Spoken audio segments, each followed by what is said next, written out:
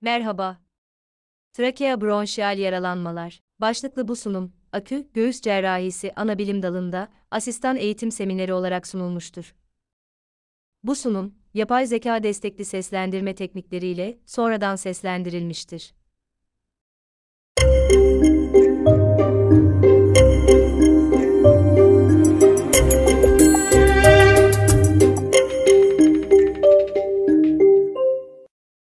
Trakea bronşiyal yaralanmalar.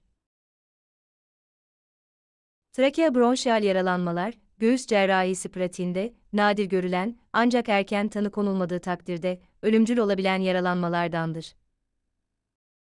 Trakeobronşiyal yaralanmaların erken tanısının konulması ile birlikte cerrahinin zamanlaması da önemlidir. Erişkin hastalarda trakea 10-13 santim uzunluğunda, yaklaşık 18-22 adet C şeklinde kıkırdak halka içeren boru şeklindeki bir yapıdır. Kıkırdak halkaların arka kısmında posterior membran bulunur.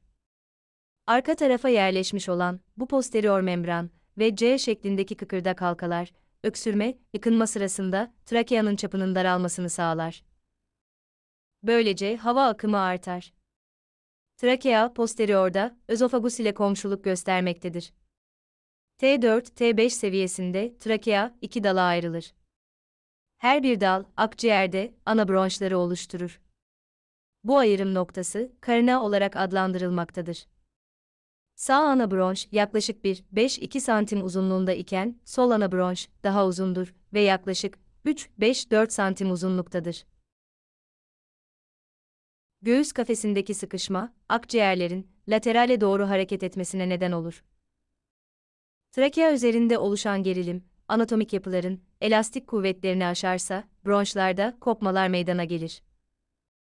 Özellikle crash tarzı yaralanmalarda, çocuk ve genç grupta trakeobronşal yaralanma oluşabilir. Glottis kapalı iken trakea ve göğüs bölgesinin sıkışması, büyük hava yollarında meydana gelen basınç artışı ile birlikte trakeanın membranöz kısmında yırtıklara neden olur. Daha ciddi ve şiddetli kazalarda trakea ve bronşlarda derin yırtıklar ve kopmalar görülebilir.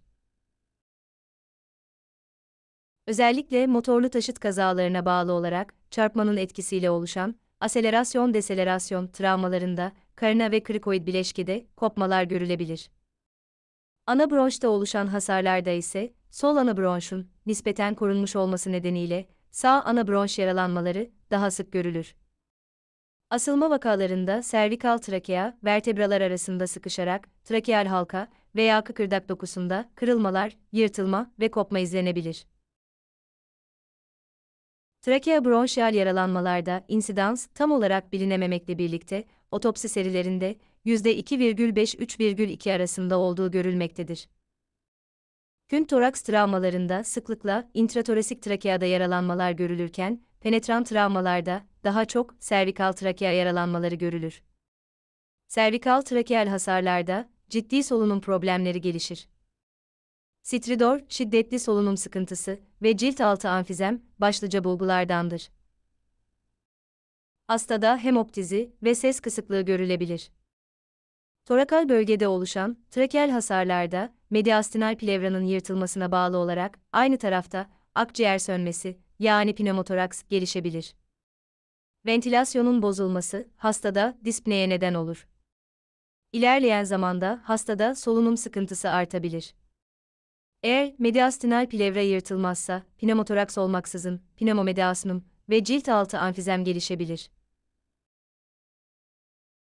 Trakea bronşiyal yaralanmalarda hastaların %10'unda ilk aşamada tanı konulamayabilir.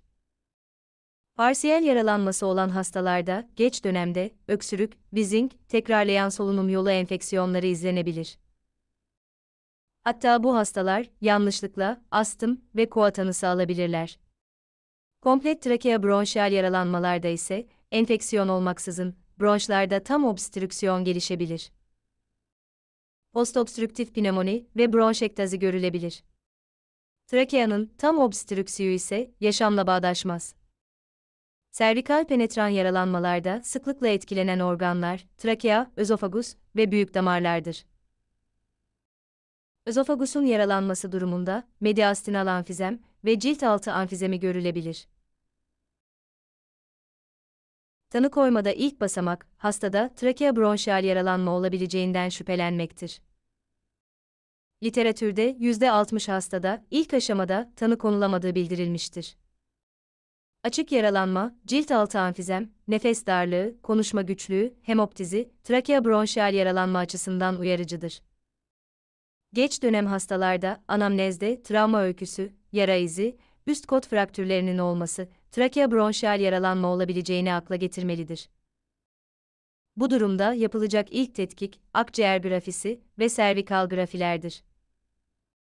Hızlı bir şekilde değerlendirilen akciğer grafisinde, düşmüş akciğer görüntüsüyle ana bronş rüptürü tanısı konabilir. BT, trakea ve bronşlar hakkında daha detaylı bilgi verir.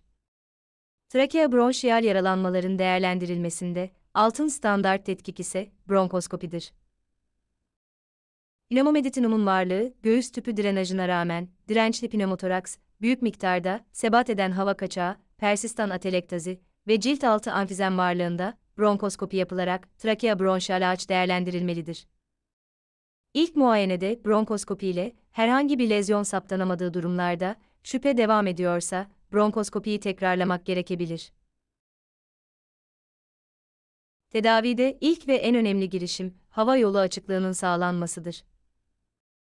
Bu amaçla en uygun yöntem orotrakeal entübasyondur. Açık kesisi olan hastalarda açık olan trakea ucundan entübasyon yapılabilir. Zorlu entübasyon durumunda mutlaka bronkoskopi eşliğinde entübasyon yapılmalıdır. Entübasyonun zorlanması, hastanın kötüleşmesine ve hava yolunun tamamen kapanmasına neden olabilir. Entübe edilemeyen hastalarda trakeostomi açılması diğer bir seçenektir. Komplike olmayan mekanik ventilasyon uygulaması, özofagus ile desteklenmiş küçük posterior trakea laserasyonlarında yeterli olabilir. Eğer orta derece ventilasyon ile cilt altı amfizeminde artma görülmezse ve yırtık uzunluğu 2 simiden küçük veya ilişkili hava yolu çapının üçte birinden az ise konservatif tedavi denenebilir.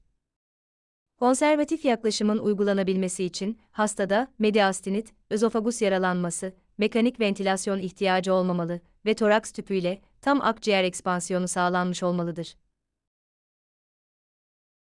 Trakeabronşal yaralanmalarda uygulanacak operasyonda primer sütürasyon tercih edilmelidir. Enfekte ve nekroze dokular debride edilmeli ve mümkün olduğunca uç uca anastomoz yapılmalıdır.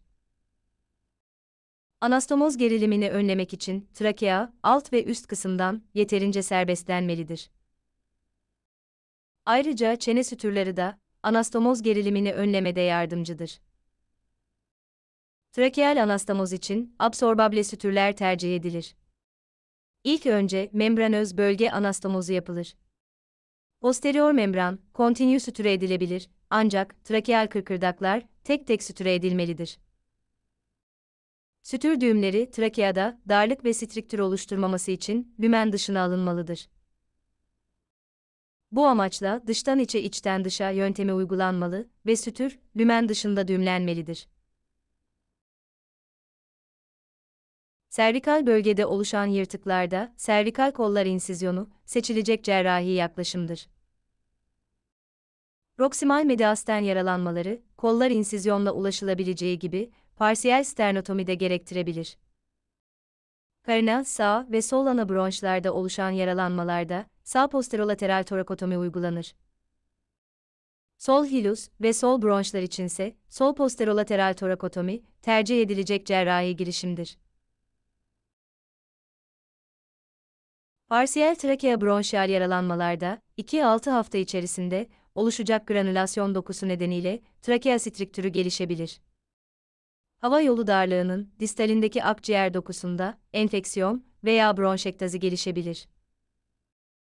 Komplet yaralanmalarda kopan parça 1-4 simeye kadar retrakte olabilir.